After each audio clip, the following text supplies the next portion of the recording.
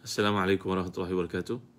Alhamdulillah rabbil alamin wassalatu wassalamu ala asyrafil anbiya'i wal mursalin sayyidina Muhammadin wa ala alihi wa sahbihi ajma'in.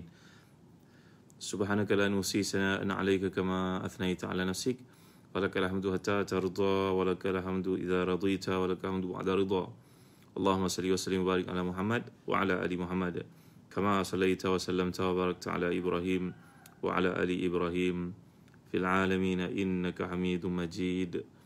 Amma ba'd. Alhamdulillah kami Osman dan semua yang hadir pada pagi ini.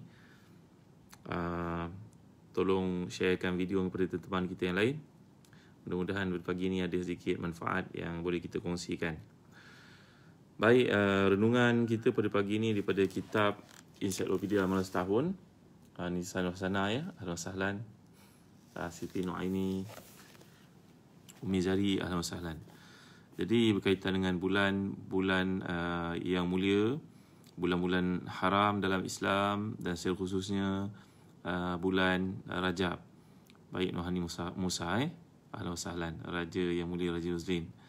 Ahlan sahlan. Hijazi Haris. Naam. Uh, Nurati Ahmad Abbas. Baik. Uh, kita lihat kepada firman Allah SWT. A'udzubillahi minasyaitanirrajim. rajim. إن عدة الشهور عند الله اثنا عشر شهرا في كتاب الله يوم خلق السماوات والأرض منها أربعة, منها أربعة حرم ذلك الدين القيم ولا تظلموا فيهن أنفسكم صدق الله العظيم Sungguhnya bilangan bulan di sisi Allah adalah 12 Apa yang telah ditetapkan dalam kitab Allah Semasa dia menciptakan langit dan bumi Di antaranya ada empat bulan yang dihormati Ketetapan demikian itu adalah agama yang lurus Maka janganlah kamu aniaya diri kamu dalam bulan-bulan yang dihormati itu dengan melanggar segala larangannya. Ah Salam Nabi Saleh. Salam uh, Dahri Umar. Jadi uh, penciptaan waktu di sisi Allah Taala adalah untuk memudahkan kita beribadah kepadanya. Jadi waktu ni uh, dengan ketentuan bulan-bulan yang 12 yang telah Allah jadikan sejak penciptaan langit bumi lagi. Jadi berarti bukan dia ciptaan manusia walaupun kita namakan kalender Masihi ke, kalender Hijri ke, Qamari ke, tapi Syamsi ke, itu semua merujuk kepada waktu yang telah Allah jadikan. Cuma perhitungannya berbeza di sisi manusia mengikut kajian mereka masing-masing. Jadi kalau orang bertanya yang mana satu bulan Islam, semuanya bulan Islam. Masihi baik, Hijri baik, Syamsi ataupun Qamari, semuanya bulan Islam. Uh, kalau ada percaturan waktu di sisi bangsa-bangsa lain, sisi bangsa Cina dan sebagainya, itu pun semua daripada Islam sebenarnya. Daripada apa yang Allah tentukan mengikut 12 musim, 12 waktu. Jadi ayat ini memberitahu bahawa Allah memperlihatkan bagaimana keagungannya telah mencipta langit bumi, menjadikan malam dan siang mengikut aturan orbitnya. Dia juga menciptakan langit, matahari dan bulan. Uh, matahari dan bulan diciptakan untuk sentiasa beredar mengikut orbitnya, menghasilkan tidak balas kepada kejadian gelap dan waktu malam dan terang pada waktu siang. Daripada ketika itu juga Allah telah menciptakan setahun ada 12 bulan berdasarkan kepada anak bulan. Maka tempoh setahun mengikut syarak dikira berdasarkan pergerakan bulan itu sendiri dan juga waktu terbit dan keluarnya. Bukanlah dengan melihat pergerakan matahari dan perubahannya seperti yang dinamakan oleh ahli kitab. Tapi semua ini menunjuk kepada waktu yang Allah tentukan.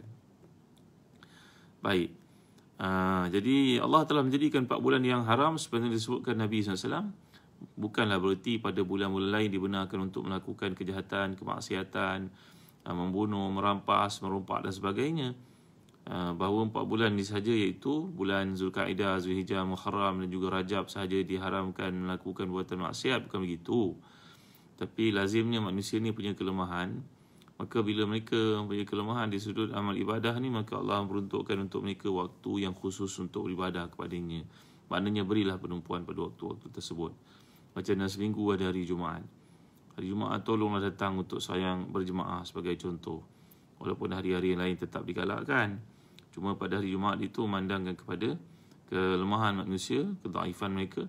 Maka Allah jadikan ada satu waktu yang wajib. Tidaklah setiap hari itu wajib. Ah, ya. Jadi Alhamdulillah, Rohana, Barakallahu Fikum. Puan Zul, ya. Baik. Kemudian Uh, kebatilan perbuatan orang-orang Arab jahiliyah. Ini pun masih ada di kalangan masyarakat Melayu yang ambil daripada kitab-kitab lama. Menyangkakan semua yang ada dalam kitab itu boleh diamal. Tak ya, semua bukan semua yang ada dalam kitab itu boleh diamalkan. Ada perkara yang menyeleweng. Ada perkara yang kurang tepat. ada perkara yang bersandarkan kepada hadis-hadis dhaif ataupun palsu. Jadi kalau kita ni belajar hadis-hadis dhaif boleh diamalkan di sudut fadail iaitu perkara-perkara bersifat amalan. Tapi perkara-perkara bersifat hukum tidak boleh diambil daripada hadis-hadis dhaif. Baik, sabda Nabi SAW, Inna zamana ka disadara ka hayati yawma khalaqallahu samawati wal ard as-sanatu ithna asyara syahra. Sungguhnya zaman telah silih berganti sebagaimana keadaannya pada hari Allah menciptakan langit bumi dalam setahun ada 12 bulan. Uh, Alhamdulillah, uh, yang mulia Raja Roslin ya. Marina Rina, Alhamdulillah sahlan. Jadi ini adalah penegasan terhadap kebatilan yang telah dilakukan oleh masyarakat jahiliah masyarakat jahiliah telah melanggar larangan dan kehormatan satu bulan yang dikategorikan sebagai bulan haram dengan menggantikan bulan tersebut dengan bulan yang lain. Jadi orang Arab dahulu mereka berperang. Mereka tahu nak masuk bulan Zulhijjah mereka mengatakan belum belum masih lagi bulan Syawal sebagai contohnya. Jadi empat bulan yang diharamkan Allah Taala perangan berlaku juga bulan-bulan yang lain. Tapi bulan yang empat ni diberikan penekanan seperti yang telah kita gambarkan tadi iaitu bulan ni Zulkaidah, Zulhijjah, Muharram. Ni datang berturutan. Tapi Rajab datang agak berasingan. Uh, agak terasing. Ya kita kalau kira bulan-bulan Islam ini Muharram Safar Rabiul Awal Rabiul Akhir Jumada Al-Ula Jumada Al-Thaniya ataupun Jumada Al-Akhira Rajab. Uh, jadi Rajab duduknya lain duduknya berasingan baik orang-orang Arab dahulu mereka menukar-nukar waktu dengan tujuan untuk memenuhi kepentingan-kepentingan mereka sendiri.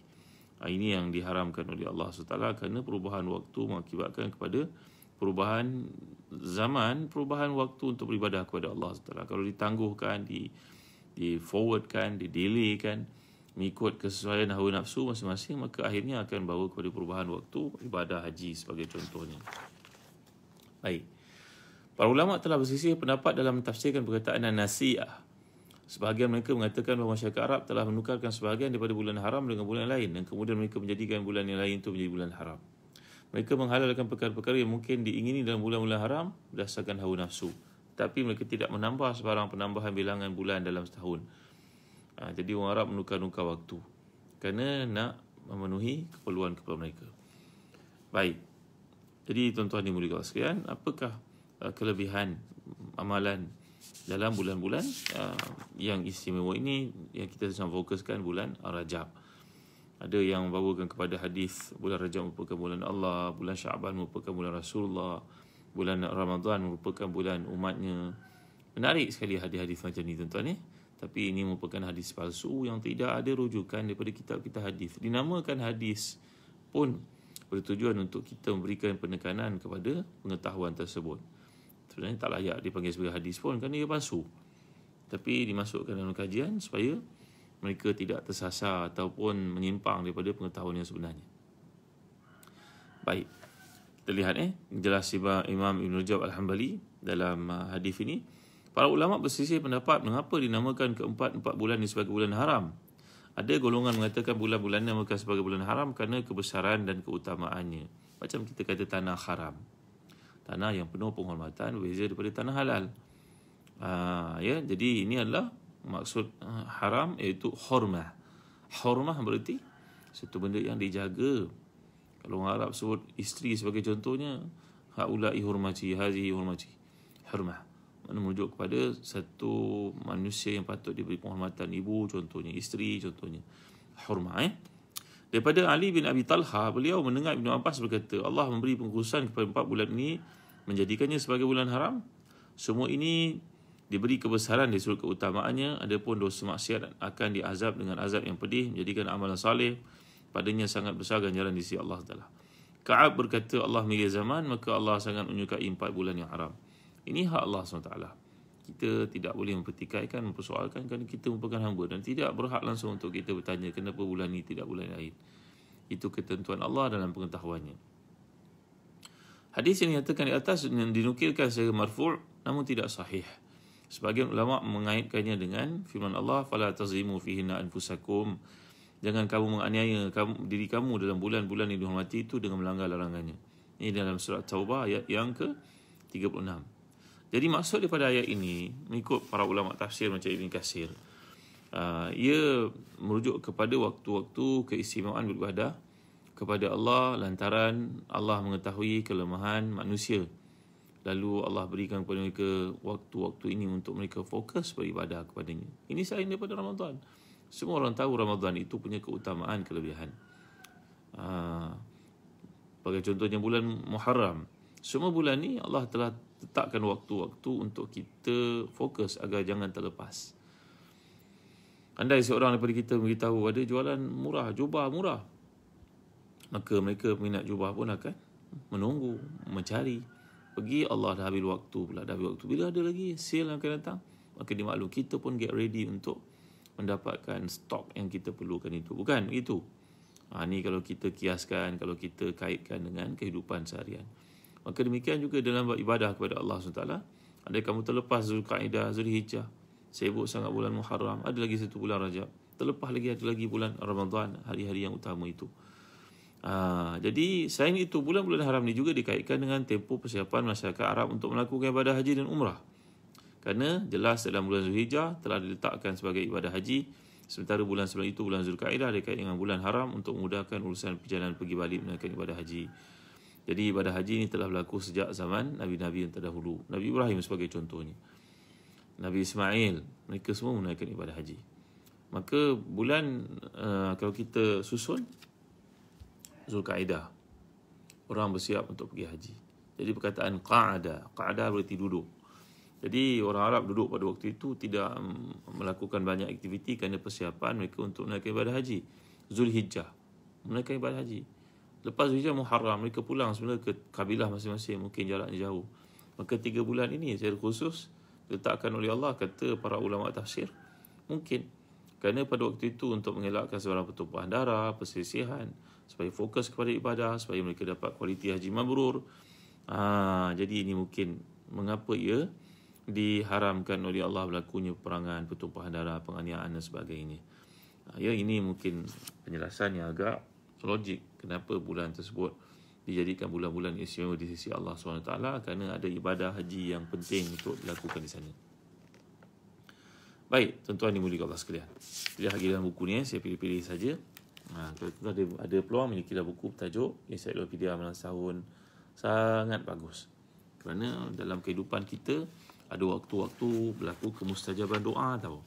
Ada waktu-waktu yang mana Allah telah beri kepada kita keistimewaan untuk melakukan uh, doa dan dimakbulkan olehnya. Ada banyak waktu. Jadi kita jangan terlepas peluang tersebut. Kalau orang pergi menunaikan ibadah haji, orang pergi menunaikan ibadah umrah, maka sebahagian daripada kita akan mengirim doa dalam bentuk tulisan kertas dan hantar dalam bentuk WhatsApp Kadang-kadang setengah orang tu tak sempat nak berdoa untuk dirinya kerana banyaknya doa yang orang kirim. Tak bacakan rasa bersalah pula. Sebenarnya kata Imam Syafi'i, setiap malam ada waktu kemustajaban doa sama mustajab macam kita berada di depan Raudah. Sama mustajab macam kita berada di depan Kaabah. Apakah waktu itu tuan-tuan? Waktu dini hari, waktu tahajud. Antara jam 3 hingga jam 5 pagi sampai ke subuh. Mustajab dan salat sunat sebelum subuh itu nilainya macam lebih baik pada dunia dan sisi kandungnya. Kalau kita sebut orang-orang kaya di dunia ni punya harta begitu banyak tanah begitu banyak tapi takkan sama dengan satu permukaan bumi. Mungkin satu juzuk kecil kalau dibandingkan. Orang yang sembahyang sunat sebelum subuh pahalanya lebih daripada dunia dan sisi kandungnya tuan-tuan. Inilah mentaliti ahli akhirat perspektif ahli akhirat kalkulator akhirat yang sangat penting untuk kita aktifkan tuan-tuan ya. Baik, jadi ada waktu-waktu yang mustajab doa. Maka antara hadis yang menarik untuk menjadi pesan kepada kita pada pagi ini uh, ya, memang tulisan ni tulisan Rumi. Jadi tulisan Rumi ya. Uh, insya Allah yang tahun ni daripada kitab Arab pertama kali terjemahkan ke dalam bahasa Melayu kita oleh anak-anak kita yang berada di Azhar, Jordan, di Madinah mereka terjemahkan bersama-sama. Alhamdulillah buku yang penting ni sekarang dalam bahasa Melayu ada di Telaga Biru eh. Tuan-tuan boleh dapatkan dekat uh, www.telagabiru.com.my order online je. Baik pada uh, muka surat ke 21 di bahagian awal ni uh, daripada hadis riwayat Ibn Abi Dunya Tabarani daripada Abu Hurairah sebagai sebagai marfu' utlubul khaira daharakum kullahu وتعرضوا لنفحات رحمة ربكم فإن لله نفحات من رحمته يصيب بها من يشاء من عباده وأسأل الله أن يستر عوراتكم ويؤمن روعاتكم Mintalah kebaikan dalam kehidupan seharian kamu dan berusaha untuk mendapat tiupan rahmat Tuhanmu. Sungguhnya bagi Allah tiupan rahmat yang dicurahkan kepada siapa yang dikehendaki di kalangan hamba-hambanya. Mintalah kepada Allah untuk menutup aibmu dan mententeramkan ketakutan-ketakutanmu. Ah, dalam hidup ni mintalah kepada Allah. Ditutup keaiban dihilangkan ketakutan. Macam-macam ketakutan ada dalam diri kita tuan-tuan. Hari depan kita tak pasti anak kita nak berkahwin. Rumah yang kita beli entah runtuh entah apa. Betul tak? Ha, ya? Jadi tuan-tuan dimulai Allah sekalian. Inilah dia antara perkara yang kita kena minta kepada Allah. Dan kita pun tak tahu bila kemustajaban itu waktu berlaku waktunya Cuma adalah waktu-waktu yang diberikan keputusan macam waktu tahajud, antara azan dan iqamah. Apalagi ketika hujan turun.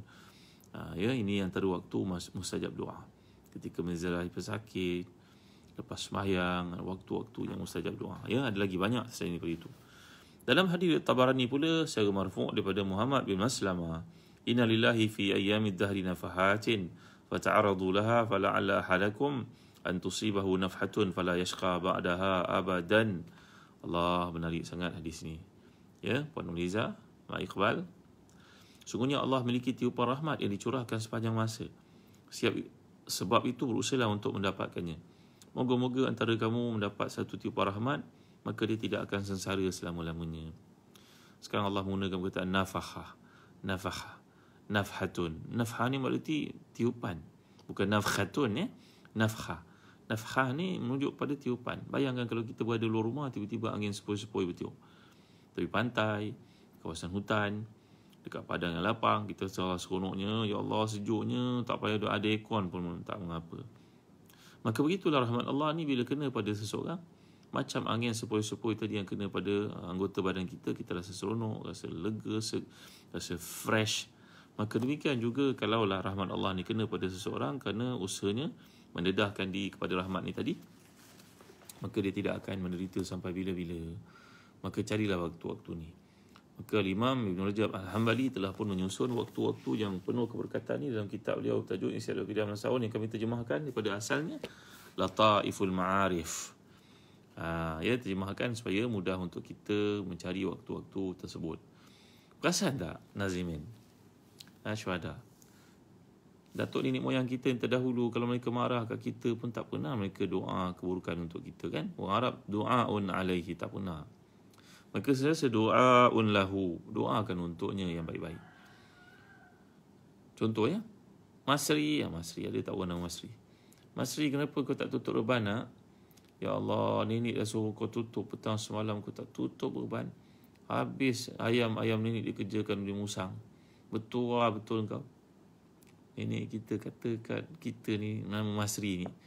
Dipanggil apa? Betua engkau cu betua engkau nak. Kau tak tutup keban nenek eh habis ayam dikerjakan. Padahal dia marah tu. Kerana nenek kita orang yang beramal orang yang belajar dia tahu.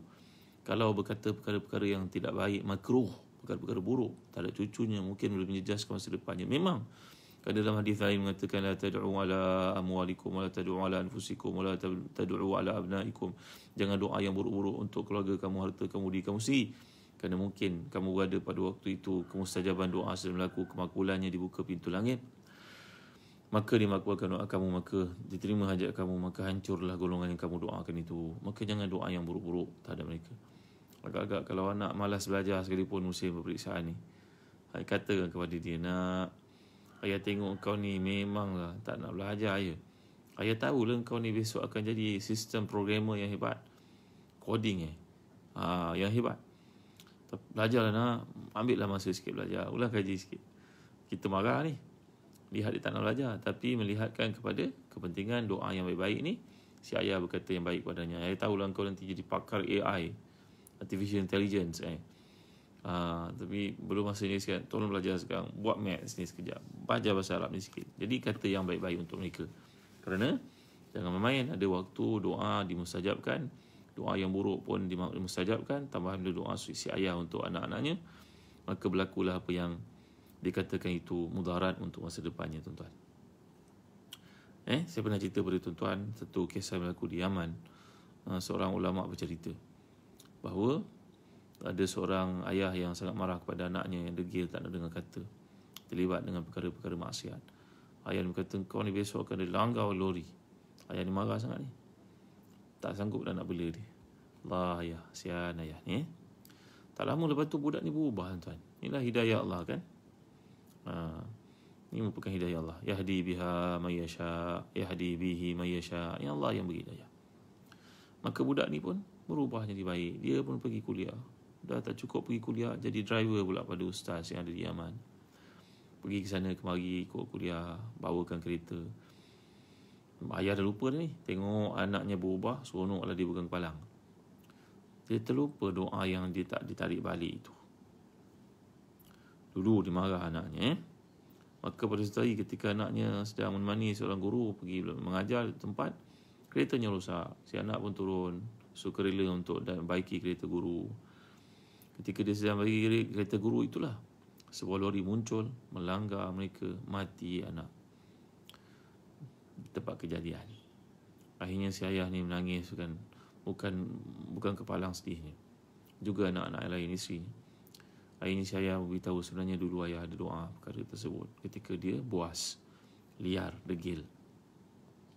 Jadi jangan main tuan-tuan eh. Janganlah kita doa untuk keturunan kita, anak-anak kita melainkan yang baik-baik saja. Walaupun mereka nampak culas, nampak malas, nampak nakal, ada sedikit liar, liar anak kita pun takkanlah sampai mereka bunuh orang kan.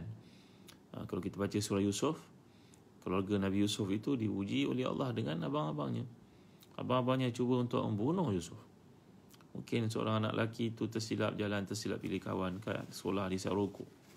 Vape lah hari ni. Kena sabarlah tuan-tuan. Ha, kena bimbing, kena tenang.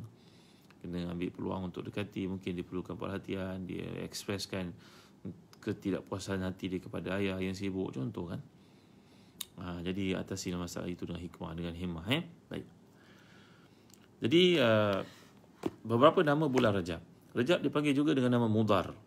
Mudar dikaitkan dengan perasaan malu dan takut kerana orang-orang Arab jahiliah yang besar menggunakan perkataan ini ini merupakan pendapat daripada Al-Asma'i Al-Mufaddal dan juga Al-Farra' ini merupakan ahli logah jadi Rajab juga digelar dengan nama Mudar jadi rajab ini berarti ta'zim tuan. Rajaba yurajibu terjiban. Berarti azama yu'azimu ta'ziman. Pengagungan kerana kedudukannya. Dan juga dipanggil juga dengan nama Rajab Mudar, Munsil Al-Asina, Al-Asam, Al-Asab. Kenapa dia panggil Al-Asab? Kerana kata para ulama, ia merujuk kepada kata Rajab Al-Hamali, Asab ni Asab ya subu. Kalau kita nak minum air dengan orang Arab, sup, sup. Sup ni berarti bukan sup eh? Sup satba tuang tuang air. Sup ya? Jadi al-asab maknanya bulan uh, Rajab dipanggil bulan al-asab kerana banyaknya curahan nikmat Allah dan juga rahmatnya pada waktu-waktu yang mulia itu. Lagi apa dipanggil munafis. Munafis makna mengeluarkan kita daripada kesukaran hidup dengan sebab kita berdoa kepada Allah dan banyak kemuliaan kepadanya. Mutahhir. Mutahhir makna membersihkan. Uh, Ramadan uh, bulan Rajab juga dipanggil mualla. Mualla makna ditinggikan. Dipanggil muqim. Muqim makna meluruskan. Dipanggil juga dengan nama harim. Satu yang sangat penuh dengan penghormatan. Uh, dipanggil mukashkish. Menghilangkan segala kesusahan mubarri. Juga membebaskan kita daripada segala hutang dan sebagainya dengan berkat doa kepada Allah Taala. Fard fard ni berarti bulan Rajab yang datang berseorangan. Kerana kita dah sebutkan tadi tiga bulan Muharram tiga bulan haram itu datang berturutan. Zulkaidah diikuti dengan Zulhijjah dan masuk tahun baru Muharram. Kan? Tiba-tiba Rajab datang keterasingannya maka dipanggil sebagai Rajab Al-Fard. Rajab yang terasing. Walaupun dia membawa keberkatan macam bulan-bulan haram yang lain. Jadi apakah perkara-perkara yang patut kita lakukan dalam Rajab ni tuan-tuan? Ha, ni soalan yang paling penting ha, ya. Jangan lupa dalam bulan Rajab ini disifatkan oleh para ulama contohnya macam Abu Bakar Al-Waraq pada muka surat 186 ni tuan-tuan. Ha, dilukiskan gambar pokok. Ha, pokok ni tuan zaman kita menanam pokok menjirusnya menanti hasilnya. Ha, ya buku ni berbeza daripada buku asal kerana dia telaga biru kita cantikkan kita perindahkan kita persembahkan dalam bentuk yang baru untuk memudahkan tuan-tuan faham Baik, kata Abdullah Al-Waraq, bulan Rajab ini disebut oleh para ulama terdahulu salafus salih adalah bulan untuk kita bercucuk tanam. Ha, kemudian bulan Syaban adalah bulan untuk kita membaca dan menyiram. Manakala bulan Ramadan adalah bulan untuk menuai hasilnya. Ya Allah, kalau bulan Ramadan baru kita nak tanam pokok, nak jirus, nak tunggu hasilnya mustahil. Mana ada benda begitu berlaku tuan-tuan memerlukan kepada kita untuk ada proses. Jadi proses bermula daripada bulan Rajab. Anak kita nak menghadapi periksaan SPM itu berapa lama dia belajar? Walaupun dia curahkan jawapan dalam periksaan pada beberapa hari saja. Tapi belajarnya cukup lama. Itu namanya proses. Ha, seseorang yang berjaya dalam perniagaannya melalui banyak proses. Jatuh bangunnya sebelum dia berjaya. Maka demikian juga logik akal memang logik untuk kita faham bulan Rajab adalah bulan untuk beramal salih menggiatkan diri kita, menggerakkan momentum, mendapatkan momentum supaya bulan Ramadan nanti tidaklah menjadi berat untuk kita melakukan ketaatan-ketaatan itu. Baik, eh? jadi apakah perkara-perkara yang patut kita lakukan? Nombor satu sekali, banyakkan berdoa. Antara doa yang ada dalam hadis riwayat Imam Ahmad sebagai contohnya dalam Musnad. Walaupun penilaian para ulama hadis terhadap hadis ini mengatakan dia merupakan alasan umum muas uh, Syarifah Said ya. Walaupun hadis ini ada penilaiannya pada, pada, pada para ulama sebagai dhaif tapi boleh diamalkan kerana maknanya baik. Uh, ya, jadi apakah doa tersebut? Saya yakin tuan-tuan telah mengamalkannya. Mengikut saya baca bagi mereka belum hafaz. Allahumma barik lana fi Rajab wa Sya'ban wa ballighna Ramadan.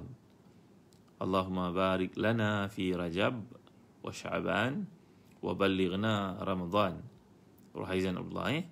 Allahumma barik lana fi rajabin wa sya'ban wa ballighna ramadan ya allah ya tuhan berkatilah kami dalam bulan rajab dan sya'ban dan sampaikan kami kepada bulan ramadan ha, ini yang pertama Ambillah peluang untuk berdoa selalu kepada Allah. Mudah-mudahan seperti telah digambarkan tadi, kena doa kita waktu mustajab. Maka Allah panjangkan umur kita untuk menemui Ramadan lagi kali berikutnya insya-Allah. Baik, perkara yang uh, seterusnya yang patut kita buat dalam bulan Rajab ini dia ringkas ni tuan-tuan. Uh, jom nak dekat pukul 8 nah. Uh, ya. Antara galakan kita untuk buat dalam bulan Rajab ini iaitu jagalah sembahyang kita supaya dilakukan pada awal waktu, ditunaikan pada awal waktu. Uh, dan di awal waktu tu buat sembahyang sunat qabliyah dan tunaikan ba'diyah selepasnya jika ada. Contohnya macam subuh pagi tadi eh. Kita sembahyang sunat qabliyah dua rakaat sebelum subuh. Yang nilainya seperti disebut dalam hadis lebih besar daripada dunia, lebih hebat daripada dunia seisi kandungnya. Nanti zuhur. Zuhur bukan saja ada dua rakaat. Dua rakaat itu mu'akad. Ada dua lagi rakaat. Gairu mu'akad. Mereka salafus salih bersemayang sebelum zuhur itu empat rakaat. Dua rakaat gairu mu'akad. Dua rakaat mu'akad. Lepas zuhur pula mereka sembahyang lagi dua rakaat muakkad, dua rakaat ghairu muakkad. Mana berapa tuan? Empat sebelum zuhur, empat selepas zuhur. Campur dengan zuhur dua rakaat. Bila nak buat? Kalau tak buat hari ni, hari cuti. Ha, nampak eh? Jadi, sembahyang asar pula. Walaupun sembahyang asar tu uh, sunat sebelum asar adalah ghairu muakkad, tapi mereka tetap menunaikannya. Rasulullah kerap menunaikannya. Jadi sebelum asar pun ada dua rakaat gairu muakkad dan dua rakaat lagi gairu muakkad. Dua ada empat kat situ. Empat rakaat sebelum asar. Ha, ya, pasal tak ada semayang tuan-tuan. Kecuali kalau qada apa yang kita miss mungkin um, ada yang kita tinggal agaknya. Maka lepas maghrib nanti sebelum maghrib semayang sunat lagi walaupun gairu muakkad mereka tunaikan. Lepas maghrib ada yang dipanggil sunat ba'diyah itu muakkad dituntut. Sebelum isyak gairu mu'akad Lepas isyak mu'akad Maka cubalah buat tuan-tuan Semayang pada awal waktu Dan semayang-semayang sunat Qabliyah dan Ba'diyah yang mengikuti. Sama ada yang mu'akad ataupun gairu mu'akad ha, Semayang sunat duha sebagai contohnya. Inilah waktu untuk kita Menggiatkan diri kita Mendapatkan momentum untuk Ramadan yang akan datang. Kalau kita dapat lakukan ini semua tuan-tuan Maka semayang tarawih itu 20 rakaat pun boleh buat. Mereka di Madinah menunaikan 36 rakaat. Zaman Imam Malik dahulu kerana nak menandingi pahala mereka yang pergi ke Mekah kerana di Mekah ada uh, sebagai contohnya Tawaf Qudum. Uh, jadi mereka melipat gandakan semayang tarawih mereka menjadi 36 rakaat. Allah Akbar 20 rakaat pun rasa macam nak tercabut lutut. Ini 36 rakaat pula hampir dua kali ganda. Uh, tapi itulah dia budaya berkesungguhan himmah aliyah ulul himmah kesungguhan para salafus salih untuk mendapat pahala di sisi Allah Taala terutamanya pada bulan-bulan pilihan. Baik. Lagi apa yang patut kita lakukan bulan Rajab ni tuan-tuan? Puasa sunat. Bagaimana hukum puasa sunat keseluruhan uh, dalam bulan Rajab bagi setengah mereka melakukan ataupun bulan Syaban mereka puasa Rajab, Syaban dengan Ramadan. Mari kita lihat apa penjelasan para uh, salafus salih kat sini eh. Sebagai contohnya kata Ibn Rajab dalam kitab beliau Ta'iful Ma'arif ini pada muka surat ke-182 baik. Bahawa terdapat sebahagian golongan salaf yang berpuasa penuh pada bulan-bulan haram. Antara mereka merupakan Ibn Umar Al-Hasan Al-Basri Abu Ishaq As-Sabiq Al-Thawri berkata aku suka untuk puasa pada bulan-bulan haram. Maknanya bulan haram tuan-tuan Zulkaidah Zulhijjah Muharram Rajab. Tapi kita fahamlah bulan uh, Zulhijjah itu bukan semua hari kita boleh puasa. Hari ke-10 Muharram hari ke-10 Zulhijjah tak boleh puasa. Itu hari raya. Uh, 10 Zulhijjah 11 12 13 pun tak boleh puasa. Haram hukumnya. Itu hari tasyrik. Maksudnya kat sini al-aghlab uh, al-aghlabiyah. Makna kes, uh, kebanyakan hari-hari dalam bulan haram itu para para salafus salih berpuasa Zulkaidah, Zulhijjah pada hari-hari yang larang mereka tinggalkan. Selain itu mereka puasa. Kemudian bulan Muharram. Kemudian bulan Rajab. Mereka puasa penuh. Jadi ini merupakan amalan Ibn Umar radhiyallahu anhu, Al-Hasan Al-Basri, Abu Ishaq, As-Sabiq, Al-Thawri. Ya, ini merupakan amalan para salafus salih. Jadi mereka tidaklah berpuasa bulan Syaban nampaknya. Mereka puasa pada sebahagian besar hari-hari dalam Syaban bukan seluruhnya ya kerana pada hujung Syaban ada hari yang diharamkan puasa iaitu hari Syak. Hari uh, maknanya hampir-hampir masuk bulan Ramadan ya. Sebuah hadis yang diriwayatkan oleh Ibnu Majah bahawa Usama bin Zaid pernah puasa pada bulan-bulan haram. Kemudian Nabi datang kepadanya memberitahu supaya berpuasa pada bulan Syawal. Bulan Syawal maksudnya 6 hari bulan Syawal. Maka sebab itu Usama tidak lagi puasa pada bulan-bulan haram hingga beliau meninggal dunia.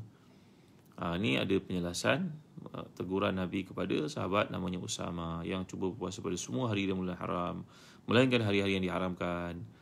Ha, lalu Nabi menegurnya untuk puasa bulan Syawal enam hari dan mencukupi untuk kamu wahai Usama. Kalau orang itu orang kaya, maka sedekahnya sangat penting untuk Islam. Kerjanya dia kena kerja bersungguh untuk dapat pendapatan, menjana pendapatan dan sedekah, keluarkan zakat untuk Islam bagi orang miskin yang tidak mempunyai wang untuk sedekah maka digalakkan untuk mereka puasa. Likuli maqamin maqal. Setiap waktu setiap tempat itu ada penjelasannya ya. Baik. Tuan-tuan yang sekalian jadi dalam riwayat Abu Razak dan kitabnya Musannaf daripada Daud bin Qais daripada Zaid bin Aslam mengatakan bahawa Nabi beritakan tentang satu um, kaum golongan yang berpuasa pada bulan Rajab. Maka Nabi telah bersabda ainahu min sya'ban Nabi dengar ada segolongan orang puasa bulan Rejab, Nabi telah menegur mereka dengan berkata, di mana mereka daripada bulan Syaban? Maksudnya, mengapa mereka tak puasa bulan Syaban? Kenapa puasa bulan Rejab pula? Ini tanya Nabi SAW kepada uh, golongan tersebut yang mengimarahkan Rajab mereka dengan puasa penuh. Mereka tidak berpuasa bulan Syaban. Nabi menegur dengan mengatakan, beri perempuan pada bulan Syaban. Artinya kalau kita taufikkan pendapat-pendapat yang ada ni tuan-tuan, maka sebenarnya kita digalakkan puasa dalam bulan Rajab. Kalau tak boleh puasa, setiap Isnin dan Khamis, puasalah tiga hari dalam bulan Rajab saja. Senang tak? Kalau ada yang kena kadak, kadak lah. Maksud saya puasa sunat. Ha, jadi, penuhilah hari Isnin dan Khamis setiap minggu. Kalau ada minggu, dah ada lapan kali kita puasa. Lapan hari. Kalau tak boleh puasa, banyak macam tu puasalah tiga hari tiga hari sahaja dalam Rajab. Carilah mana-mana Isnin ataupun Khamis. Berpandukan kepada penjelasan-penjelasan ni. Maka para salafus salih sebenarnya melihat kepada Rasulullah Rasulullah SAW sendiri tidak berpuasa pada bulan Rajab. Rasulullah menegur mereka yang berpuasa bulan Rajab sepenuhnya. Mereka disuruh untuk memberi penumpuan dalam bulan Syaban. Nabi berpuasa pada kebanyakan hari dalam Syaban. Setengah mereka menjelaskan dua minggu pertama tu Nabi berpuasa.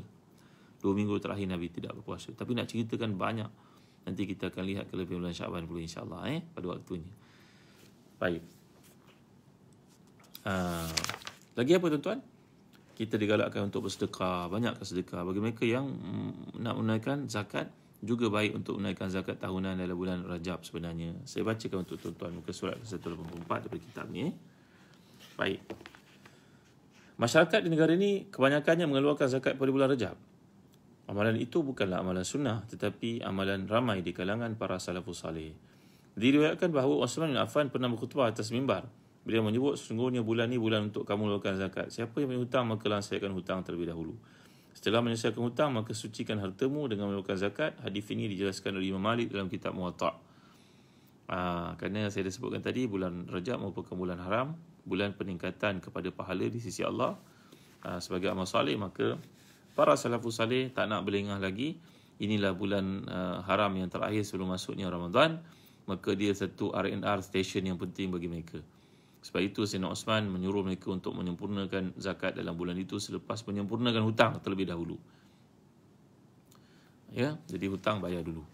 Kemudian barulah kita tunaikan zakat dan ramai di kalangan salafus salih mereka menaikkan zakat mereka dalam bulan uh, Rajab sebenarnya. Ini bergantung kepada haul kita masing-masing lah. Haul ni maknanya cukup setahun. Ada orang mulakan perniagaannya dalam bulan Muharram, maka tentulah menutup akaunnya pada bulan Zulhijjah kan dimulakan Muharram berakhir 12 bulan pada bulan Zulhijjah maka dikeluarkan zakat dalam bulan Muharram tahun berikutnya faham kan ha, ada mereka yang mulakan perniagaan dalam bulan Jumada uh, al-Thaniya ataupun Jumada al-Akhirah orang Melayu panggil Jamadil Akhir sebenarnya Jumada eh. Maka tentulah zakat itu cukup haulnya pada bulan uh, Rajab tahun berikutnya. Maka begitulah seterusnya tuan-tuan eh. Tidaklah ada galakan bererti kewajipan untuk kita tunaikan zakat bulan Rajab. Tidak. Tapi para salafus salih mereka telah mengambil keberkatan bulan itu sebagai bulan haram yang terakhir sebelum datangnya Ramadan untuk menunaikan ibadah zakat mereka masing-masing kalau kita tak ada zakat belum sempurna zakat kita nak tunaikan bulan Ramadan pun boleh tak ada masalah mengambil kelebihan bulan Ramadan dengan waktu sedekahnya tapi ini maksudkan dalam uh, amalan Nabi Nabi melakukan sedekah Sedekah ni adalah ibadah sunat. Zakat adalah benda yang wajib kan. Macam sembahyang sunat dan sembahyang wajib. Maka Nabi banyak melakukan sedekah sehingga disifatkan sedekah Nabi itu macam angin yang bertiup kencang. Uh, rihul mursalah. Rihul mursalah. Angin bertiup kencang. Itu sedekah. Beza eh. Sedekah dengan zakat.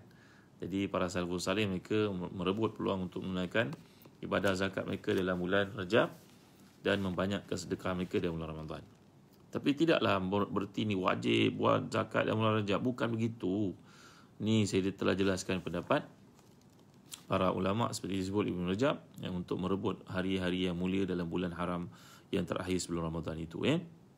Imam Ahmad pula pendapat bahawa harus untuk melambatkan pengeluaran zakat kerana menunggu kehadiran satu golongan uh, atau menunggu waktu yang lain. Boleh, tak ada masalah kata Imam Ahmad harus. Imam Malik dan Imam Ahmad mengharuskan kelambatan disebabkan penghantaran zakat ke negara yang memerlukan. Mereka pandukan kayu ukur. Kelambatan membayar zakat tidak boleh menjangkau hingga ke waktu yang lain yang mempunyai kelebihan. Tiada satu pun seumpamanya seperti bulan Ramadan. Ha, jadi mereka juga mengatakan harus untuk tunaikan zakat dalam bulan Ramadan. Juga pahala padanya besar. Ha, tapi seperti yang terdajakan tadi, kalau kita pergi lebih dakik, kepada lebih teliti sebenarnya yang Nabi banyak lakukan dalam bulan Ramadan adalah sedekah. Uh, sedekah beza pada zakat. Baik tuan ya. Lagi perkara yang patut kita lakukan dalam bulan uh, Rajab ini ibadat umrah.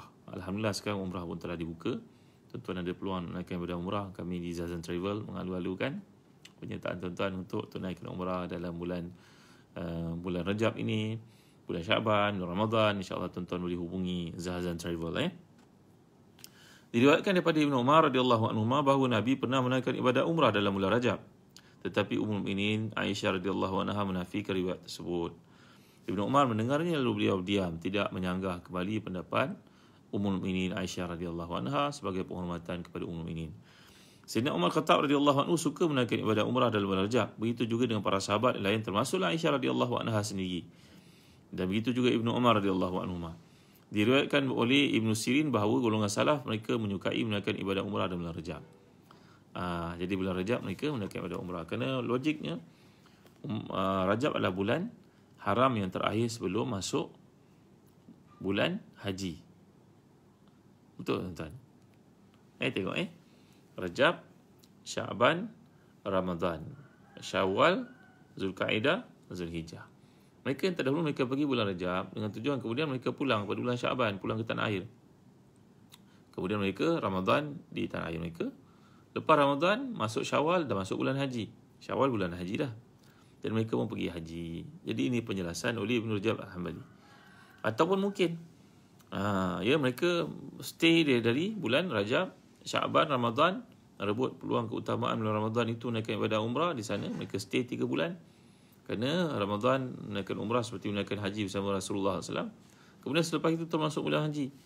Bagi mereka yang berkemampuan, bagi mereka yang kaya, yang kehidupannya mencukupi, tak ada pencarian mereka nak kena buat. Mungkin orang pencen yang punya wang dan sebagainya. Jadi ada penjelasan-penjelasannya. Tapi penjelasan utama itu lebih menarik buat bulan Rajab, mereka pulang semula. Kemudian bersiap sedia pada bulan Ramadan pergi untuk lepas Ramadan untuk pergi menunaikan ibadah haji, eh. Jadi tuan-tuan nak menunaikan ibadah umrah, bolehlah tunaikan bulan Rajab mengambil pedoman daripada para salafus salih. Lagi apa tuan-tuan? Ha, saya dah sebut empat kan semayang awal waktu dah sebut tentang puasa dah sebut tentang tentang kegalakan untuk tunaikan zakat banyakkan sedekah eh kemudian tunaikan umrah yang kelima bacalah Al-Quran. Raja-raja baca Al-Quran tuan-tuan. Tingkatkan Quran kita. Barulah kita dapat momentum untuk khatam Quran berkali-kali dalam Ramadan insya-Allah. Ha, cuba rebut surah-surah yang Nabi baca setiap malam macam Al-Isra, uh, Al-Mulk, Sajda, Az-Zumar. Nabi baca setiap malam tuan-tuan. Setiap malam ya. Al-Kafi itu seminggu sekali mungkin.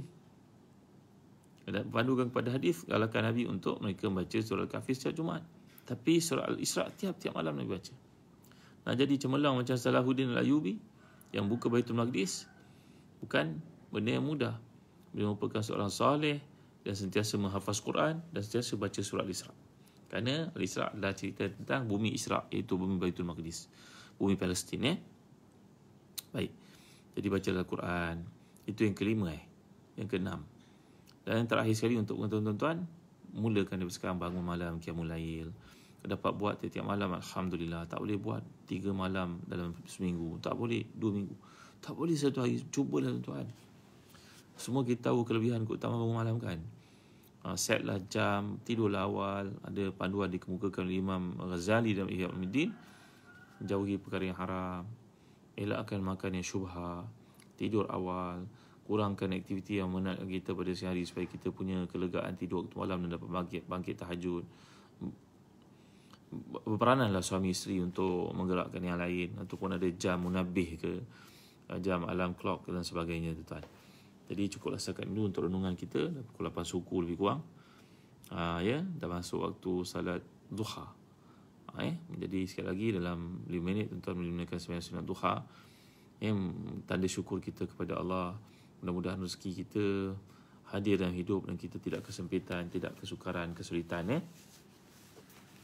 Sebab ini tuan dapatkan batu sauda gitkah daripada Zazan Travel. Kita ada produk baru. Ha, eh. Jadi dapatkan macam ni tuan eh. Sedang tuan-tuan nak makan biji ni seperti ni kan. Telah diproses dapatkan daripada Zazan Travel. Ini stok baru tuan-tuan. Ha, expire tahun 2023. Dapatkan tuan ni. Batu sauda daripada Zazan Travel. Kami ada package-package menarik. Dan begitu juga korma uh, McJoel. Tahu tak kurung McJoel? Yang kurung McJoel besar nampak. Uh, teksturnya pun menarik. Ini kurma energi tuan-tuan untuk kita berpuasa dalam bulan Rejab Syaban nanti.